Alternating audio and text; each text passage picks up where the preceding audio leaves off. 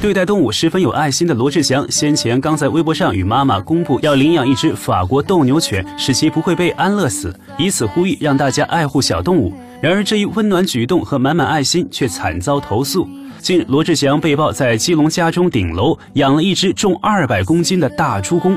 遭邻居痛斥，臭气熏人，且质疑为何罗志祥有特权霸占顶楼空间。